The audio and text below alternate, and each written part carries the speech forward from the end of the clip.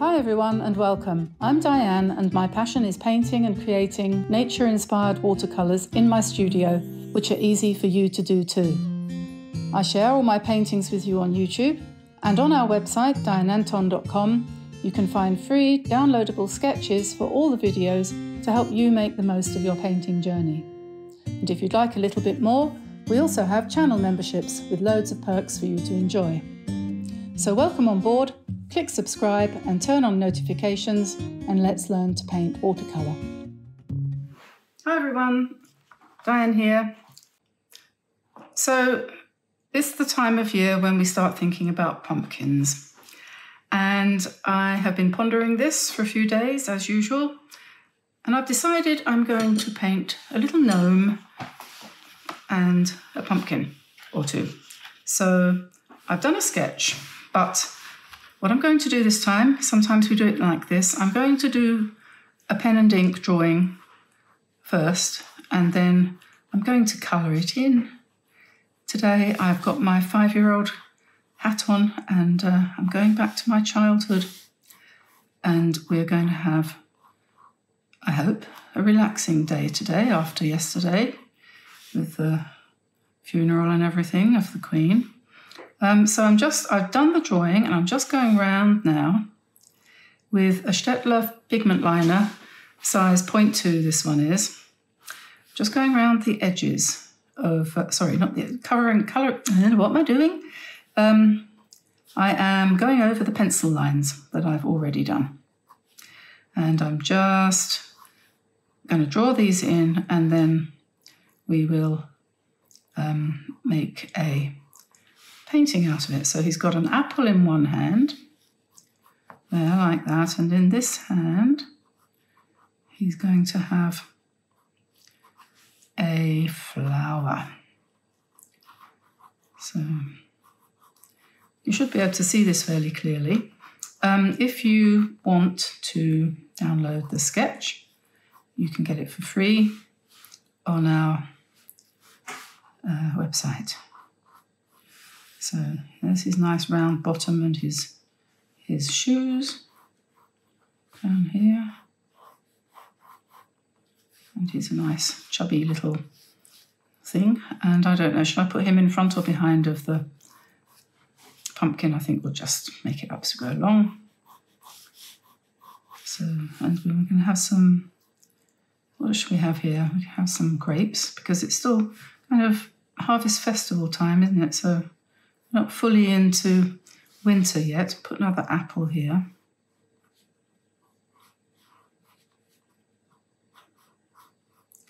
A bit later on we can have some um, really autumn things like pine cones. No, that's winter. Um, what do you call them?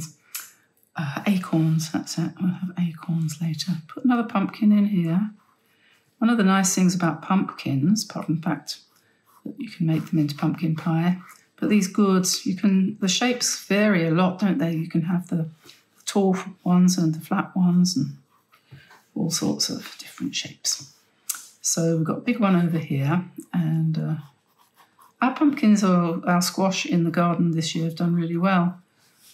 Um, don't know why they looked as if they were all going to die at the beginning, but uh, they didn't.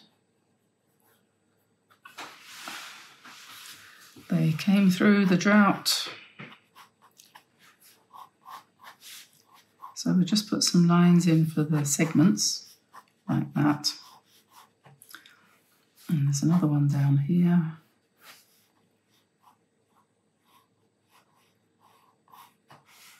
There we are, and there's that one.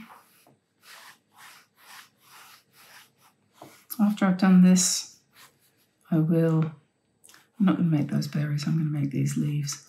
I will um, rub out all the lines and have another pumpkin leaf down here. There we go. And up here, a little boydie perched on the stalk. With his nice. This is a whimsical Wednesday one. This one is. So, and then we've got the moon up here.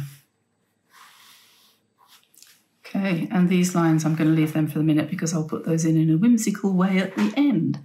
So there we are, that's our basic design, and um, he probably, his beard to, I don't know, I don't want to touch that because it'll probably go wrong. Um, make a nice little card if you did it the right shape, right size and everything. So we'll stop there, there it is, and I'll come back in a second with a paintbrush and we'll do the next step. I decided on a sort of subtle colour palette for this one. So I'm not going to come in with some screaming oranges or anything like that. Have you ever seen a screaming orange? But I'm going to do this in a fairly subtle kind of way. Um, and um, we'll just get rid of some of the lines. So we'll use um, some soft greens and some soft orangey, ambery type colours with a few stronger colours just for emphasis in a few places to give it a little bit more punctuation. So let me just get that off. There. Right. Okay. Um, small brush because oops, small painting. I've got a five, a three, a seven, I think. I think maybe we will go for the, what's this? That's a seven. Don't think I've used that one before. Everything I'm doing here in this video is on the kitchen table because I'm on holiday for a week or two and I don't have my normal things around me. So we're having to compromise, improvise, improvise, improvise. I'll start with the hat. Let's um, come into the hat with some sort of orangey colour. And the thing to do is remember that you're not actually really um, five years old and painting like a kiddie. So you can keep inside the lines if you want. And you can come in with a darker reddish colour to give him some stripes on his hat. I'm using um, A Gallo paints today because those are the ones I brought away with me on holiday, but you could use anything and the colours are completely and utterly not important. Choose whatever you feel like, but this is a burnt sienna colour, this brown, and underneath it we've got a kind of cadmium orange. So that's his hat and he's sitting, he's got a, a little robe on, and then he's obviously sort of more or less pumpkin coloured down here, so just do him in sort of light ambery shade. And I'm going to make, I'm going to make this pumpkin blue. I've seen quite a lot painted blue on the internet. I personally don't see pumpkins in a blue very often, but I think they look quite nice. So we do that. And then the one at the back here is going to be kind of beige, I think. Don't want it too gingery. Yeah, something like that will do. And keep it sort of fairly um, what's the word? Harmonious colours, not too, not too harsh or too bright, but with just a little bit of variation in there. And then the one in the front is going to be on the green side. So this is uh, deep sea green or something. If you have this set, you'll find a lot of ready mixed greens in it. But if you don't have this one, I mean, you could make this colour using Winsor green and a little bit of, a little bit more blue. And then we want a really dark green, don't we, for the um, stalks. So we've got this, um, this dark sort of phthalo green, and we just add some yellow a little bit. Excuse me. And we pop in a stalk or two. or three, like that. and then, excuse me, we will need to vary our greens a little bit here and there. Give us these leaves.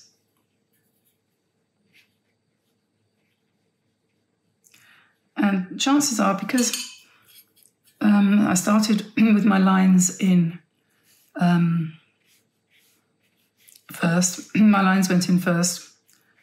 That means that I'll probably have to come back with more lines, more outlines, because they'll kind of get covered up quite a bit. So there's a nice red apple.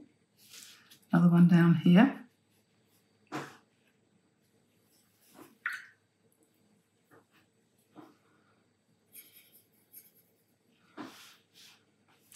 Now, I was going to make that little pile of nuts down there, but I, uh, sorry, of grapes, but I think I'm going to change it to something else because I don't know quite what. There's something not quite right about that.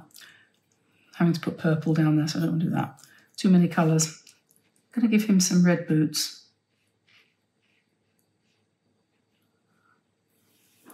And maybe, maybe he should have a little red nose.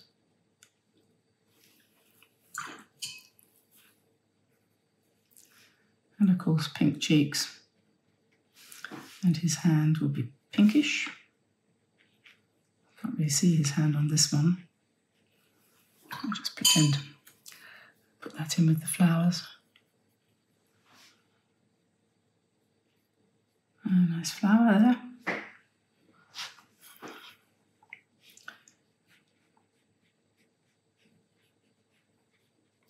few more leaves over here. And then the bird, make the bird blue, I think. Should I make the bird blue? Should I make the bird green? Green bird.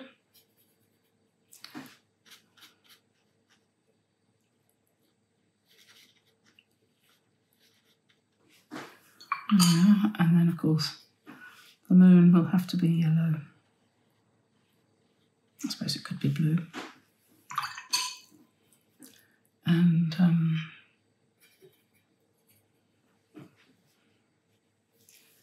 some pale, very pale blue for his beard.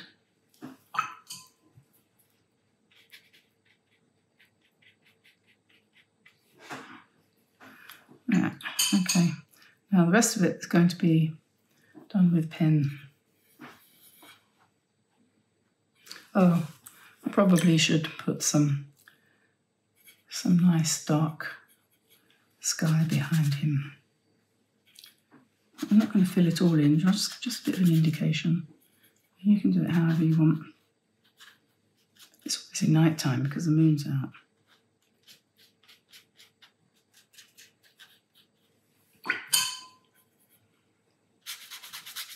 It could be a blue sky if you make it light. Daytime, moon comes out during the day too, doesn't it? Not quite sure why the moon's there in any case, but there we are. It is.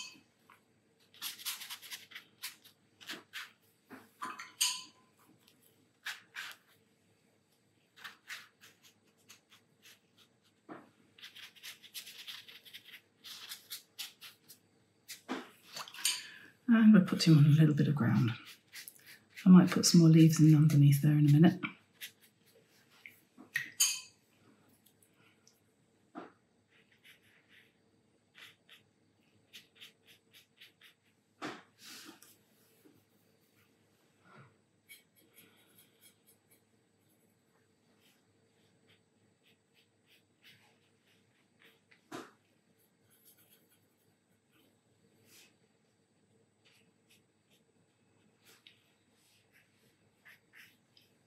And we just darken up these shadows on these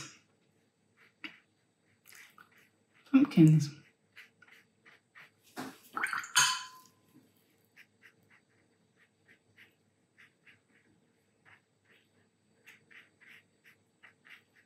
And I don't think I don't think it's the right colour now. It's gone a bit brownish.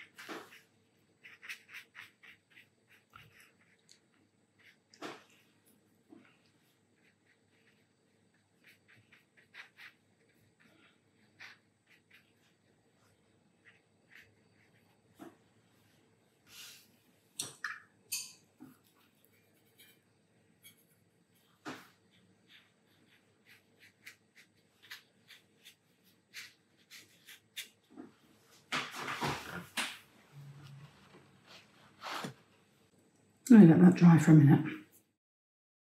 This is dry now, and I can get on with uh, what I think is probably the funnest bit of this kind of drawing, and that is, of course, the embellishment.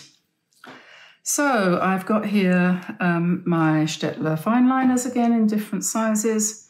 I've got a, um, a gold Uniball Sigma, Sigma Signo pen and a white one and a bronze one.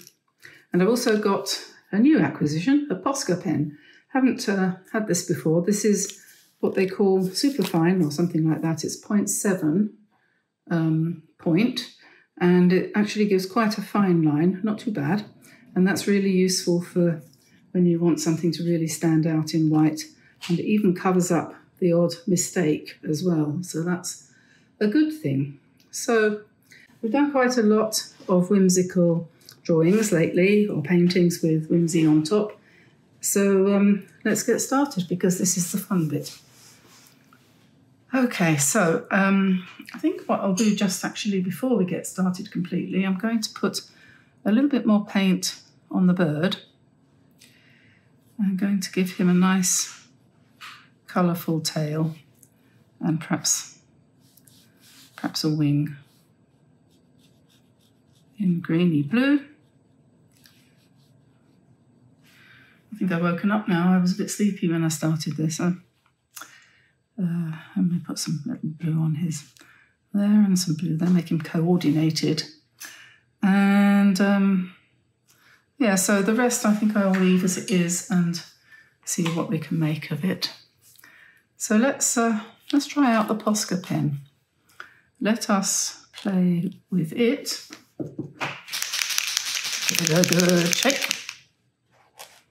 And if you're not sure what you're going to do, it's always a good idea to grab your sketch or trial and try and get the pen to work. That's always a good start.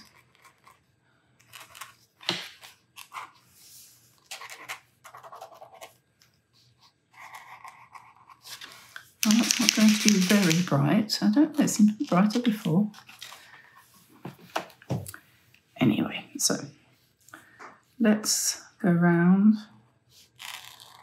this pumpkin.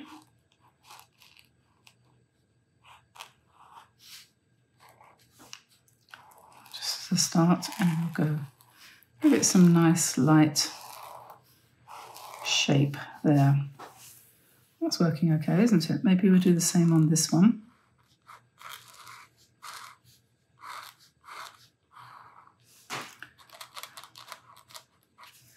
A little bit of a highlight on the apple, perhaps.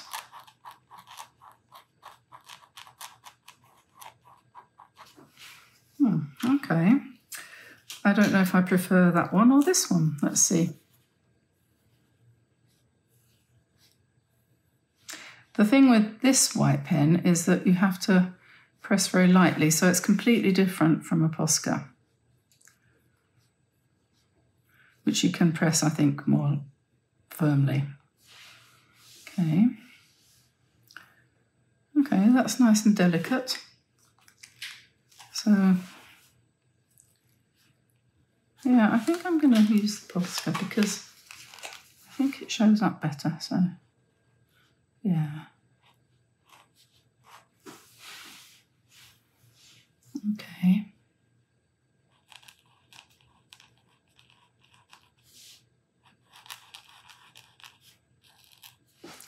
And for the curly bits up here, we will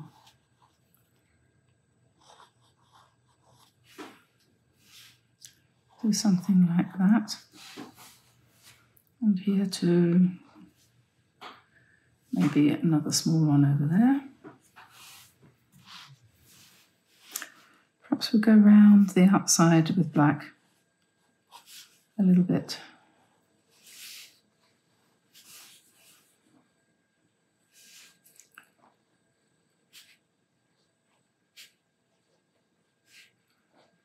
I'm going to do a little pile of hearts down there and we'll make them golden.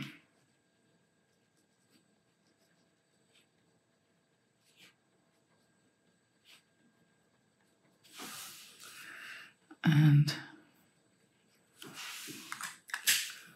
try this bronze because bronze is a good colour, isn't it, for autumn. So strengthen these stripes on our little gnome on his hat.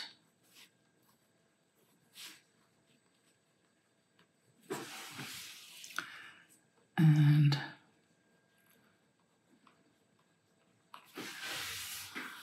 there's a bit of pattern there.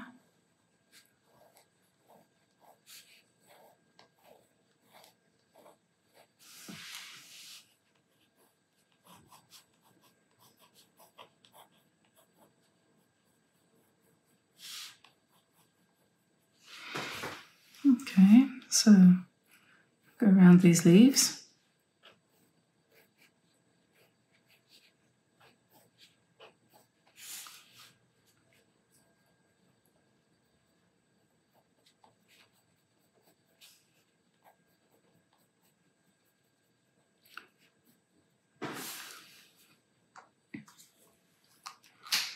And then let's go back to the white and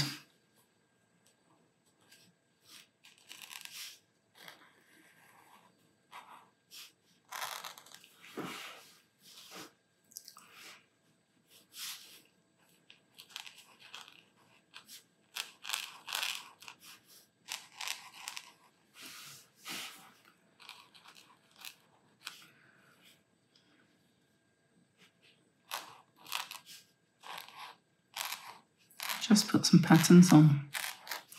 It's a bit scritchy, isn't it? I should think if you were a bit sensitive to sound, you might find that a bit scritchy. You know, sort of fingernails on the blackboard kind of scritchy. So I hope nobody gets upset by that. I haven't, like I say, used this one before.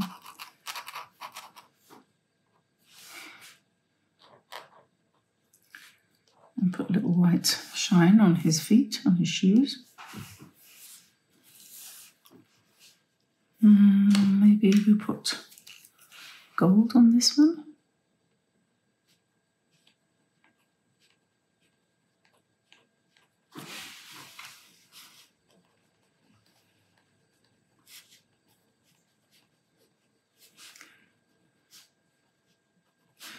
Fill those in.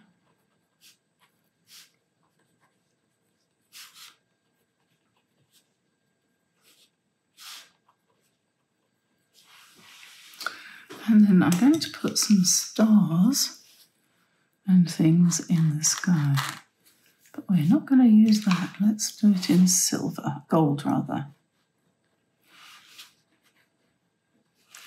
As you work with these materials, you discover there are limitations, and sometimes you just have to improvise. So we put some nice gold stars around, and then we come back to this little birdie, and um, let's outline his wing. Put a bit of gold on his tail.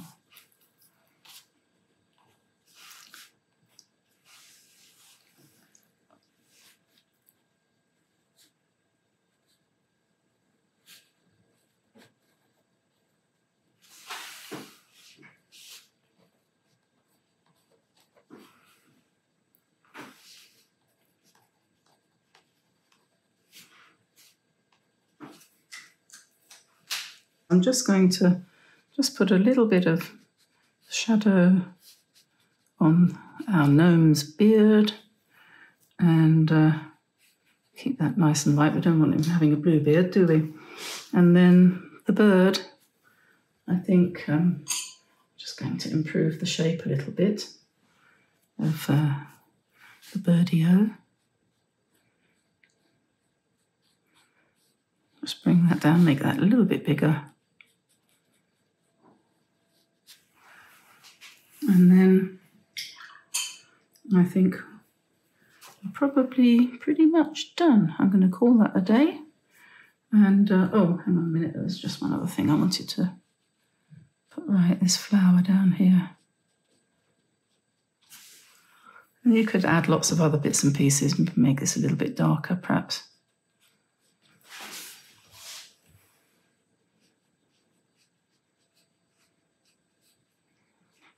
I think if I was to do this again, I'd do it a bit bigger so I wasn't uh, uh, cramping my style, so to speak. And um, this one here, this leaf needs a nice white pattern of veins. And um, yeah, I think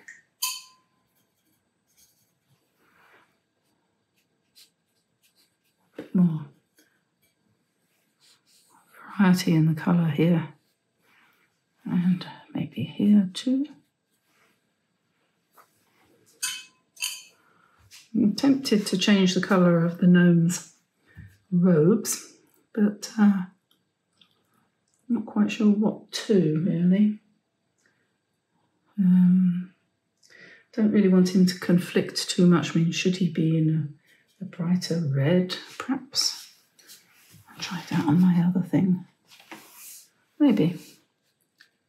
Maybe he'd be better in red, although he might look like Father Christmas then, mightn't he?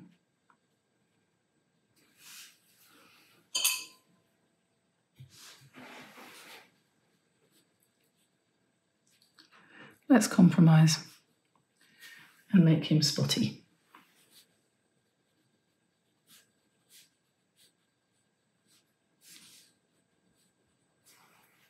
There we are. And on his sleeves.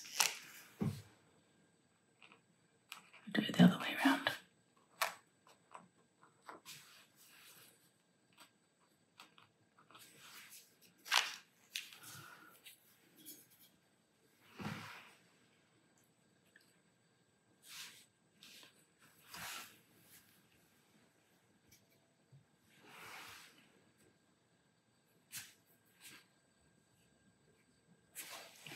Right, that's done then. Oh, no, hang on.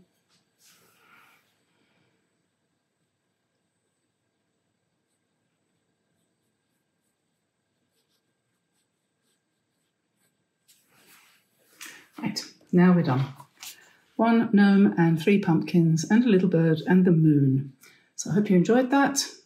Make it yours, have a go, see what you can do. And uh, I'll see you again soon. So bye for now, everybody. Bye bye.